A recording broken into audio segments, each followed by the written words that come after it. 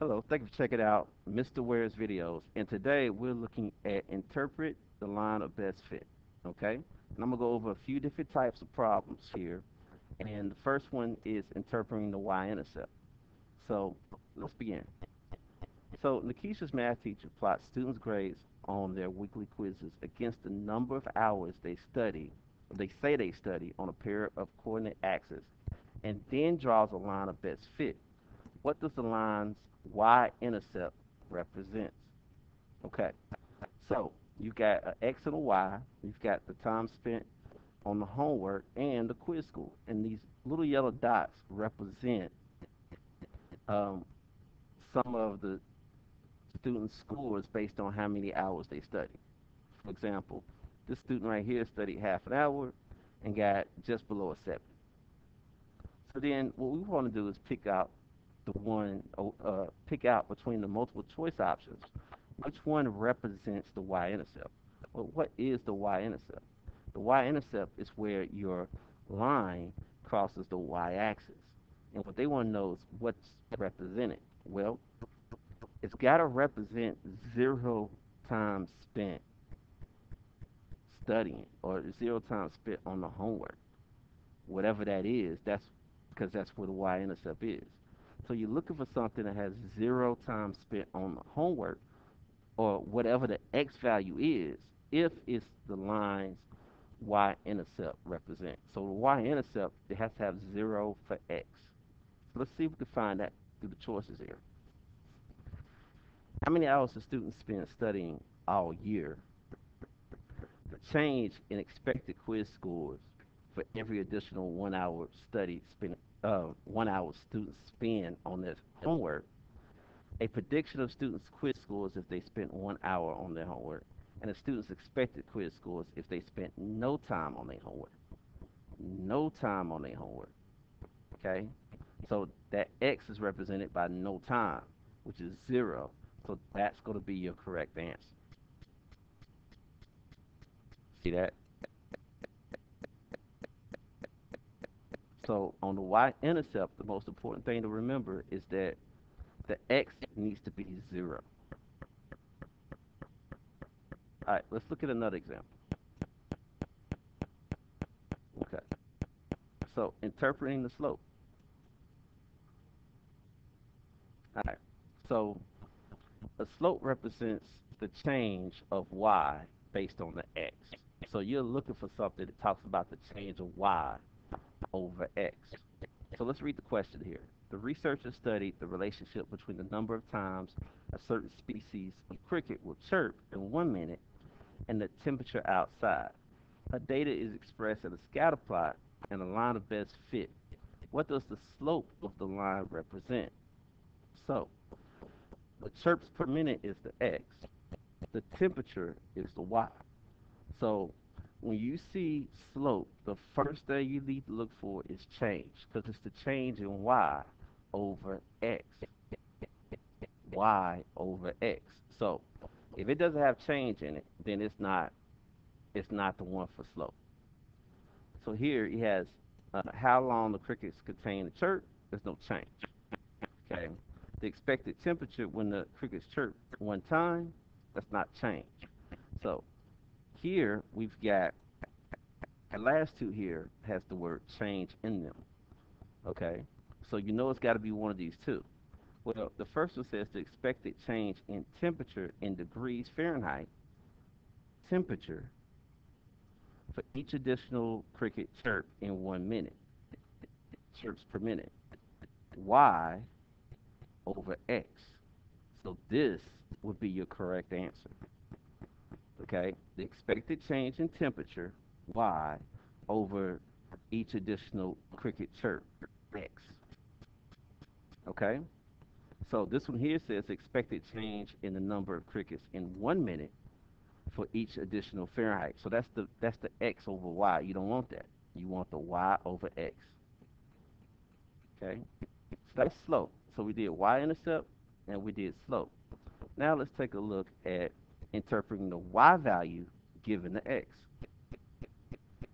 Okay, so on this one, scatter plot,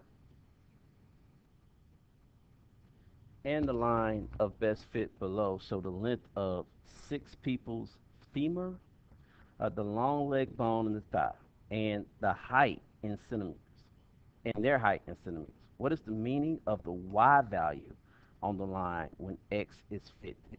Okay, so uh, when interpreting the y value given x or interpreting the x value given y, it's important to know this, that the only actual points are the yellow dots, and the line represents speculation or estimation or prediction. So if you're looking at something that's on the line, it's got to be, it can't be actual. It has to be an estimate, a prediction, a guess. So let's take a look at a few examples. So first, what we want to do is look to see x is equal to 50. What is that? So what does that mean? x equal to 50, it means that is the femur length in centimeters. When the femur length is 50, right? What does, what, what's going on? All right, so, so we got a few choices here. All right, so the expected height of 181.4 centimeters when the femur height, femur has a length of 50 centimeters. Okay, that's one choice. The height of an actual person when the femur length is 181.4 centimeters uh, is 50 centimeters. Let's see.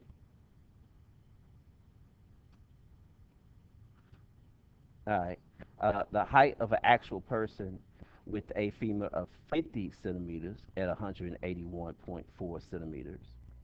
And the expected height of 50 centimeters when a femur has the length of 181.4 centimeters.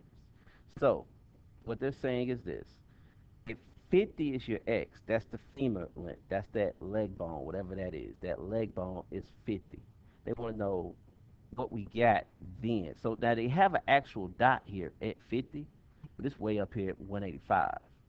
And the numbers they given are 181.4. So they're talking about not this actual yellow dot, but right here at 50, what is what does that spot on the line represent? So remember, the spot on the line is a guess. So when you come down here, you can eliminate some of the answers by just seeing some of the words. So this one here that says actual person, an actual person, neither one of those work. Because if you was talking about an actual person, you'd be talking about this yellow dot up here, which is on 185. So it has to be expected, the first one and the fourth one. Then, the only thing you have to do is check to see, does the 50 go with the X? And the X is the femur length. Okay, so the expected height of 184.4 centimeters when the femur has a length of 50 centimeters. Femur length. So this is your correct answer right here. Now down here on this other one, it's the expected height of 50 centimeters of a person when your femur length is 181.4. Saying your leg bone is 184, but you're only 50. That doesn't make any sense. So uh, this would be your answer. But just make sure it's if it's on the line, it's talking about expected, and make sure your X is matching the same uh, thing. The, the, the, the 50 goes with the actual X that's listed here. Okay? So let's take a look at our last example here, which is dealing with the X value for a given Y.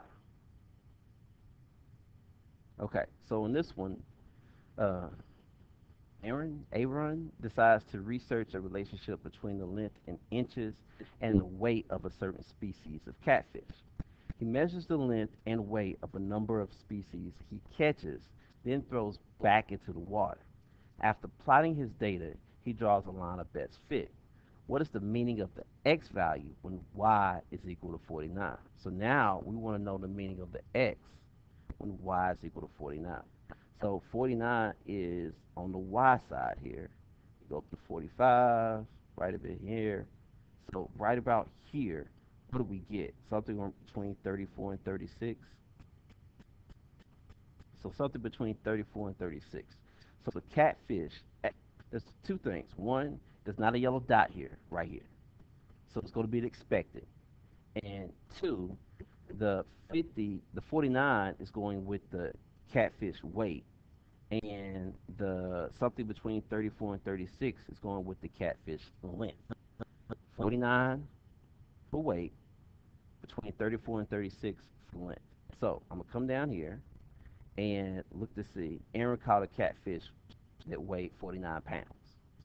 That's not because that's a we're talking about expected. Okay, this one says it too. Aaron caught a catfish that's 49 inches long. It's saying that's what happened, but no, we talking about the expected weight. So it's got to be one of these two in the middle. So the expected weight of the catfish that is 49 inches long. Okay, so they're saying, all right, so the weight is 49, which we determined here. They're saying that is the expected, uh, the expected weight of the catfish uh, when it's 49 inches long. No, the 49 goes for the weight. So it's the expected length of the catfish that weighs 49. Notice that the Y is 49, Y is 49, and weight is Y. So the 49 has to go with the weight. Okay, so the, they want to know the expected length. And they didn't give us any numbers, but the expected length of the catfish that weighs 49 degrees. Okay, so this would be your correct answer. So that's it. That is interpreting the line of best fit. I want to thank you for checking out Mr. Ware's videos. Have a nice day.